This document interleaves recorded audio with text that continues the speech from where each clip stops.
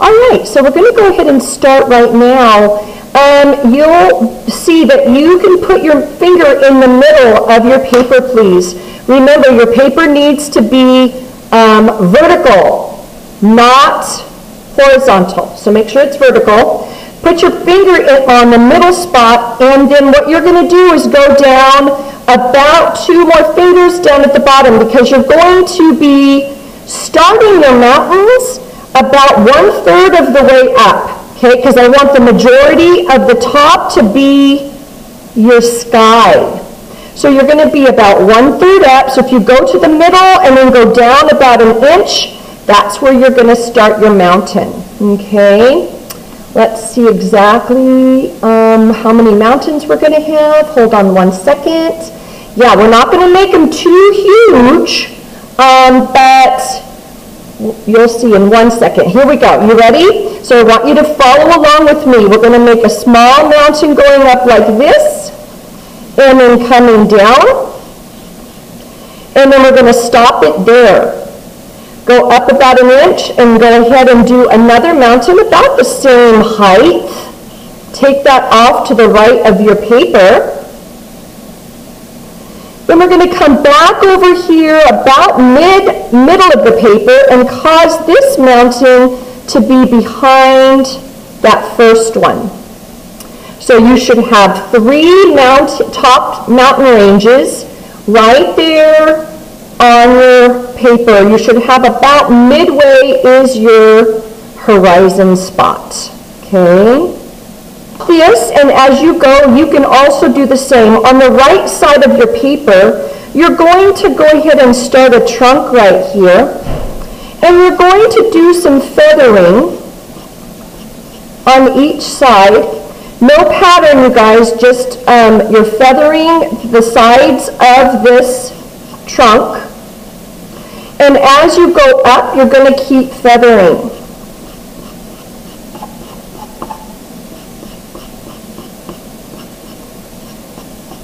Okay, and that's it on that. I want you to go, because if you don't make it taller than your mountain, then it's going to look kind of funny.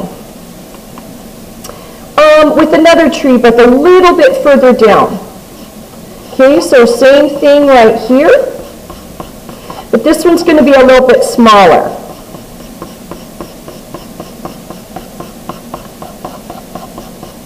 Okay, you're just going to do those two trees. We're going to add another mountain right here, so watch please. We're going to kind of come up here and add a mountain that's kind of in the very background, right here. Make it a little bit pointed at the top. And then we're going to add kind of like a circle that's kind of maybe possibly could be a moon that's setting, okay? So you're adding another mountain in the middle with um, your sphere setting at the top. Hold on one second here. And then we're going to put this tree over on the left side. Again, it's better if you start at the bottom and feather it as you go. You're going to be using curved lines because you want this to look like a pine tree. It's going to be a little bit shorter at the top and a little bit heavier on the bottom. If you do it too much, then it's going to look too clumpy. So you want to go ahead and make sure they look, it looks like feathery, like fir trees. You're just going to um, kind of go over your mountains again. So they're a little darker. And then what we're going to do now is you're going to go ahead and on the very left side of that mountain, you're going to go ahead and fill in a little bit of shading. Not more than like a half an inch. Okay, so you're going to do each mountain separately, half an inch. That top's going to be like here. And then I'm going to do this side too. So you've got three, actually all your mountains are going to have a type of shading on the left, upper, upper left side. A couple trees tell you the truth, and so we're gonna go down here and add another one. It needs to be the same size as what you're seeing on my end. So it needs to be a little bit, so this kind of looks like it's a little bit more in the foreground. And then we're going to also add one right here.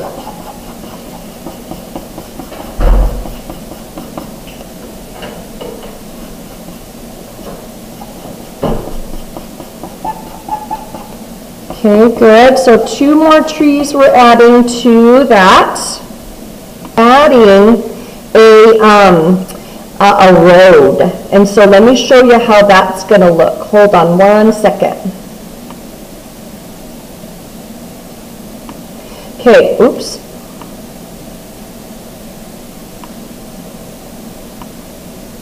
All right.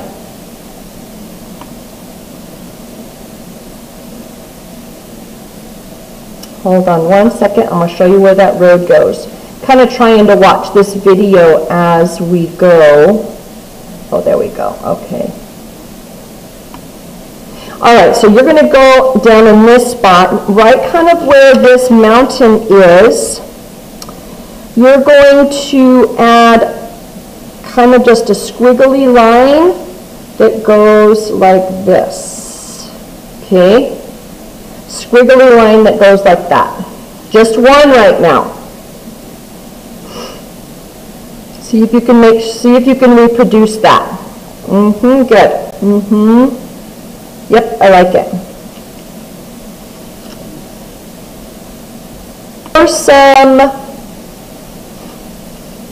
gloves, that, let's try it. So what you're going to be doing now is you're going to be taking this and um, you're going to be shading your mountains. And the goal for that is, is you want to bring down the shading of the, the shadow a little bit um, onto, over the top and to the right. Not too much. So you, you want to go ahead and shade um, and, and make a shadow a little bit um, darker or how, have it gradually fade over your mountains.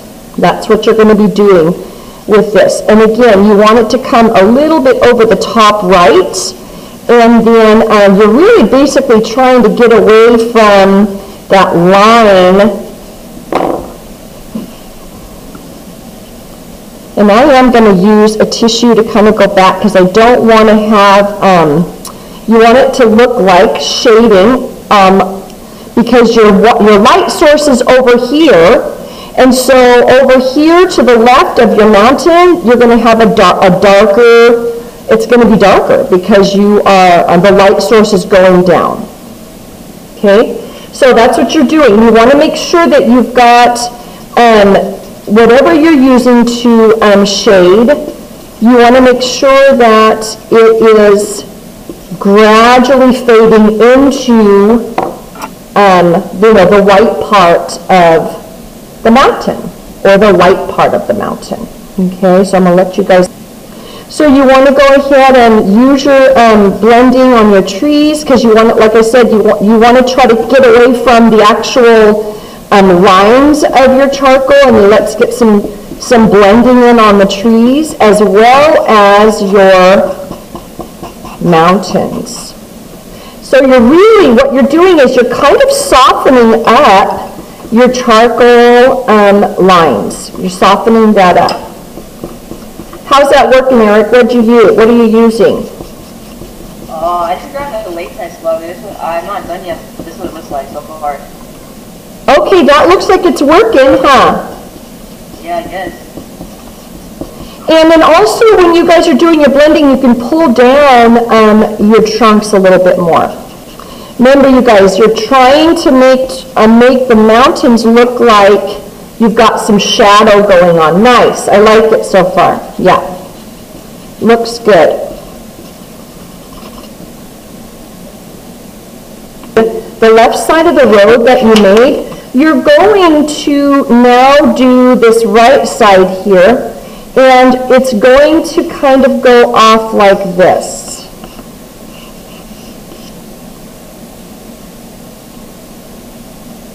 So you're creating a type of a, of a, kind of a perspective. This is called perspective drawing because it's going to look like it's going into the mountain range.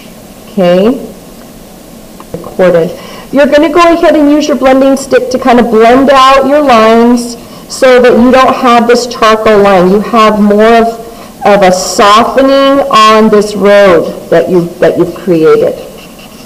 Okay, so you're softening those lines on your road, which is like your perspective.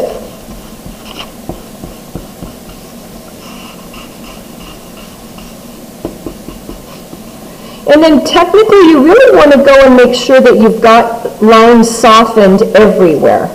You really don't want to have any harsh lines when you are um, working with that. You can also take um, whatever you have here and kind of add a little bit of texture.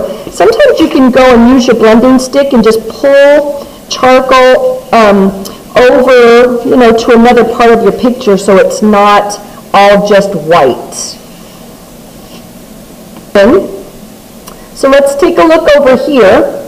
We're going to go up here and add a mountain a little bit higher than that third, the one on the left, and bring it down right about there. And we're going to do the same type of shading as we did with the other one. So we're going to take our blending stick and shade this Again, your light source is to the right of the mountain, so you're going to have your shadows more on the left. And the more that you utilize your blending stick, um, the better to get rid of any harsh charcoal lines that you've got going on.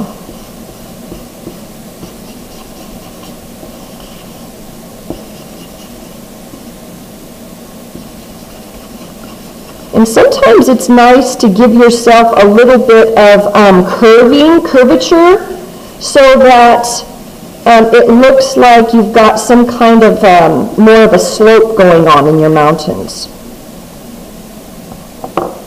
In our shapes, we did the sphere. And so we're only going to do a darker line around the edges and take our blending stick and blend it to where you're going to see your darker edges around it, and then you're, you're going to blend in so that you have lighter edges going in. Because remember, that's going to give it that spherical look, that three-dimensional look. Okay, so you really want to make sure your center is right, and you're going to give it that sphere look. You could bring in um, that curvature line on the left side of your sphere, um, and then see, for me, I don't like having that one dark line there, so I might add a little bit more charcoal to the edge um, so that I can get rid of that dark line.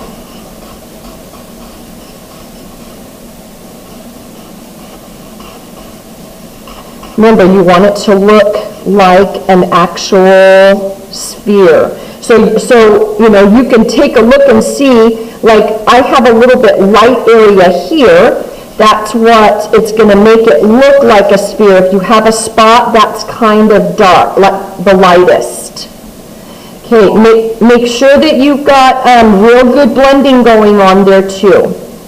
And add a little bit of like, um, um, for the road, we're going to add a little bit of horizontal lines here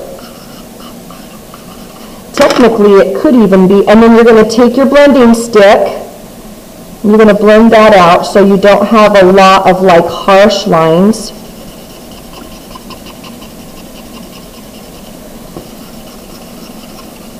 And technically, it could even be considered a, um,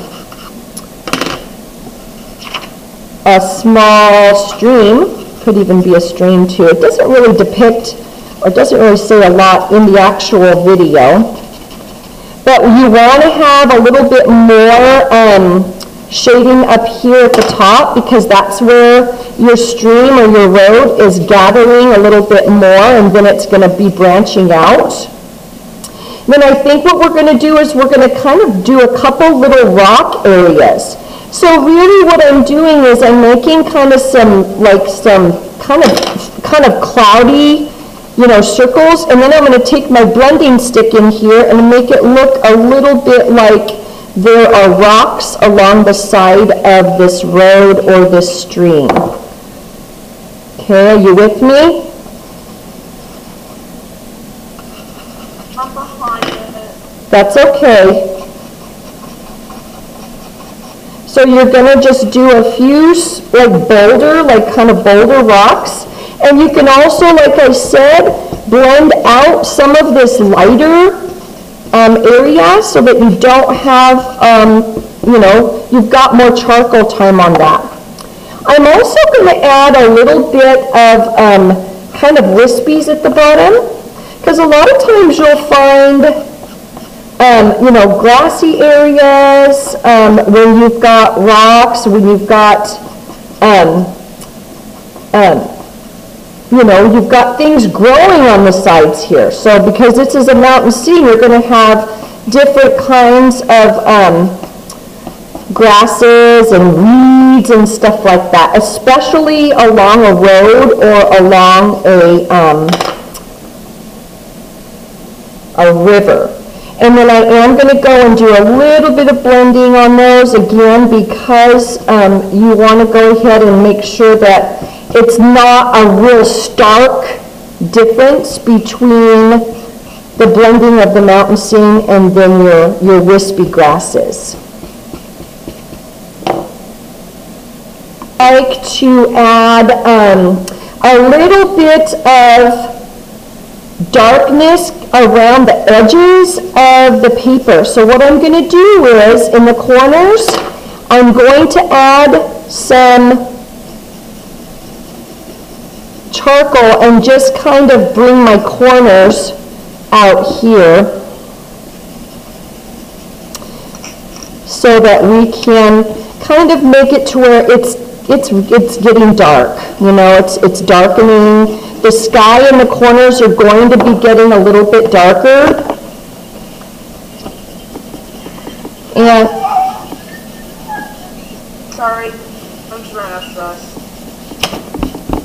no stressing, yeah.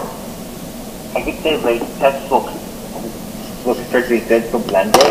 Does it? But, yeah, I, I just wear latex gloves during this just so I don't get my hands as dirty. Yeah. Other than it looks pretty good. Yeah, I'm just not happy with um, either the blending stick or, I'm not happy with the blending that I'm seeing on here, but that's okay. I am, like I said, going to give myself a little bit of rounding on the, on the top edges because I'd like it to, I don't want my sky to be like this stark white.